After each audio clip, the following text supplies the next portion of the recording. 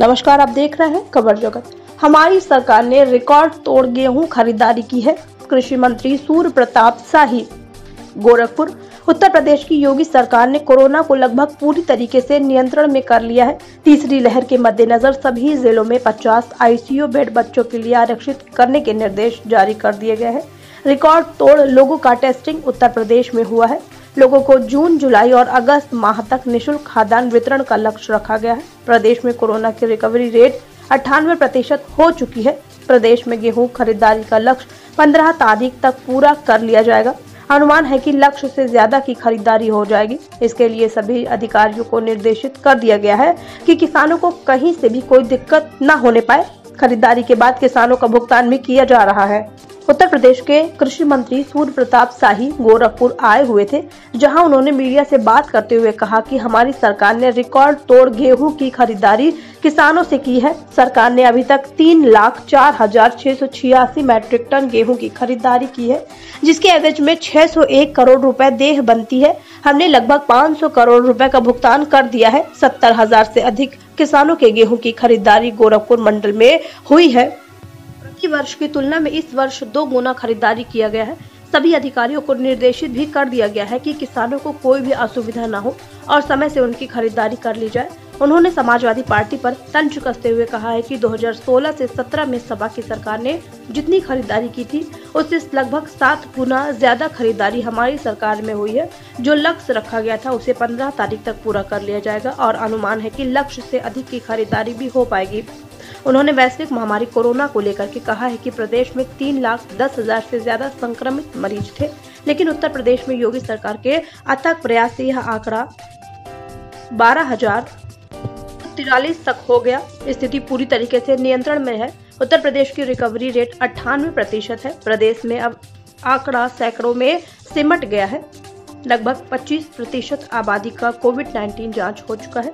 लगभग एक करोड़ सत्तर अठहत्तर लाख लोगों को कोरोना का पहला डोज दिया जा चुका है और सैतीस लाख एक हज़ार एक सौ लोगों को दूसरा डोज लगाना बाकी है। कोरोना की तीसरी लहर के मद्देनजर उत्तर प्रदेश की योगी सरकार ने सराहनीय कार्य करते हुए सभी जिलों में 50 आईसीयू बेड आरक्षित करने के निर्देश भी दिए हैं। साथ ही ज़िले के प्रतिनिधियों से आग्रह किया गया है कि अपने क्षेत्र के वह किसी भी सीएचसी पीएचसी को गोद ले। हमारी सरकार ने निःशुल्क राशन योजना की शुरुआत की है, जो जून, जुलाई, अगस्त में कार्ड धारकों को निःशुल्क वितरण किया जाएगा। सरकार के मंत्री मंडल मंडल में फेर बदल को लेकर के उन्होंने कोई भी टिप्पणी करने से इनकार किया है। उन्होंने कहा है कि सरकार में सब कुछ ठीक है, कहीं से भी कोई दिक्कत नहीं है। खबर जगत के लिए एल एन सिंह की रिपोर्ट। अब नीचे के आयु के लोगों का भी जो है वो टीकाकरण किया जा रहा है।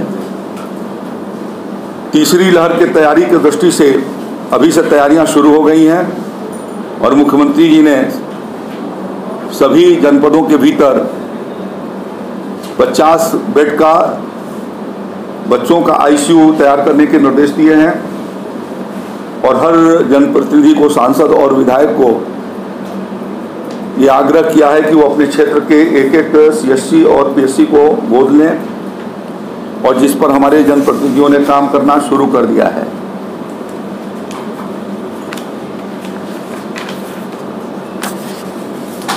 है तीन लाख अठारह हज़ार, तीन करोड़ अठारह लाख इक्यावन हज़ार चार सौ बीस।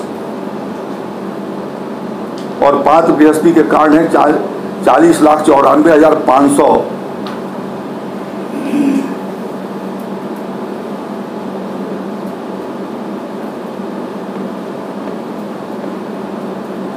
ये इतनी बड़े तादाद में यह जो है वो धन राशन उनको जाकर के वितरित होगा।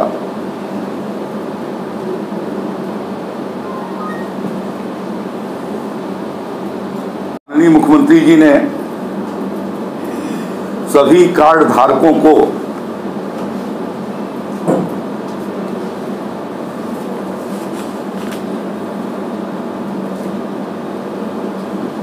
एक लाख एक करोड़ सत्तर लाख से ज़्यादा कार्ड धारक हैं।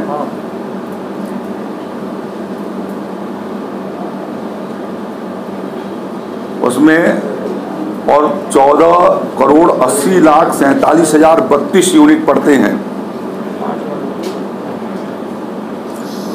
प्रत्येक अंत्योदय कार्ड धारक और पात्र गृहस्थी कार्ड धारक को निशुल्क राशन दिए जाने का फैसला राज्य सरकार ने किया है, जिसके अंतर्गत जून, जुलाई और अगस्त महीने में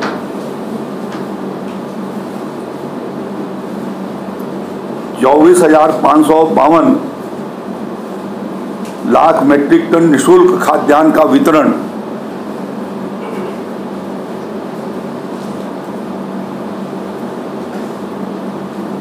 बीस किलो गेहूँ और पंद्रह किलो चावल राज्य की ओर से किया जाएगा।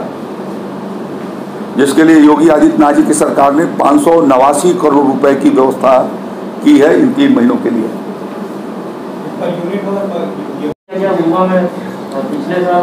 अभी अभी अभी गोरखपुर में एक लाख मेट्रिक टन का भंडारण और हो सकता है, उतने वेयर हाउसिंग हैं। और जिलाधिकारी को मैंने कहा कि यदि आवश्यकता पड़े तो और आप जो है वो प्राइवेट सेक्टर के रिक्विजिट करके और उसमें भंडारण करें, इसके लिए जिलाधिकारियों को ही कह दिया गया है। और यहाँ के भी जिलाधिकारी को मैंने कहा है कि आप रिक्विजिट कर लीजिए और लेकर के गेहूँ की खरीदारी को अंजाम दीजिए। आप ये कह रहे हैं कि एक लाख टन का अतिरिक्त भंडारण करने की क्षमता है। मेरी जहाँ तक जानकारी है ये कि हम ज़ीरो ऊपर चल रहे हैं भंडारण पर यानी जो भी खरीद हो रही है उसमें से हम पीडीएस सिस्टम को देख तरह काम चला रहे हैं तो, तो, पूरे भर चुके हैं जैसे मैंने आपको बताया कि पीडीएस में अभी कितना मात्रा में गेहूँ और चावल निकलेगी इसी हाँ, जून के महीने में। तो स्वाभाविक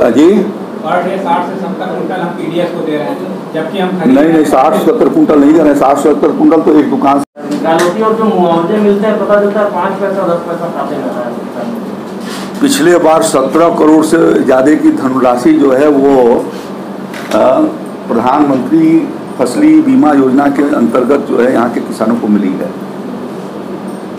गोरखपुर के।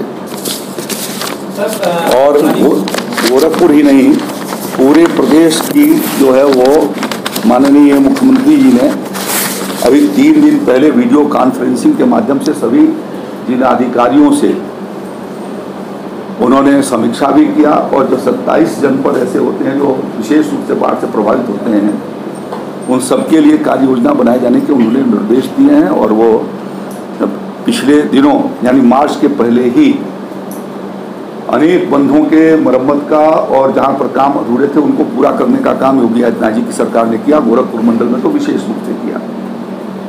महाराजगंज से लेकर के और जो कुशीनगर का पूरा बेल्ट था और इधर राप्ती और बुर्रा का जो दुआबे का जो बंधे थे, उन सारे बंधुओं पर पहले ही, मैं समझता हूँ, जनवरी फरवरी में ही पैसा दे करके और बरसात से बहुत पहले उनको ठीक करा दिया जाए और यही स्थिति बलरामपुर साइड में भी हुई है, गोंडा और बहराइच के लिए।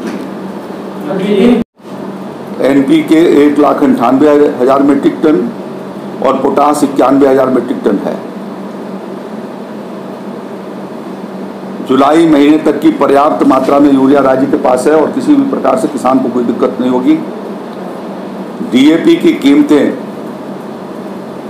वैश्विक बाज़ार में बढ़ जाने के कारण भारत सरकार ने उस पर अपनी सब्सिडी जो पहले पाँच सौ रुपये बोरा देती थी, बढ़ाकर सात सौ बोरा और उस पर अतिरिक्त सब्सिडी देकर के बारह सौ रुपये बोरे कर दी।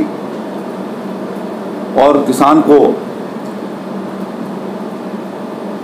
चौबीस सौ रुपये लागत की डीएपी होने के बावजूद भी अभी भी बारह सौ रुपये में दी जाएगी और उससे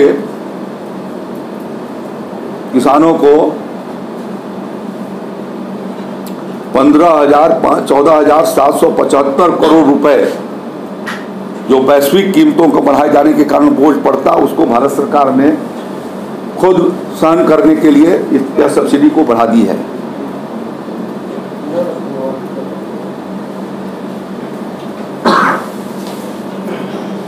दो जून तक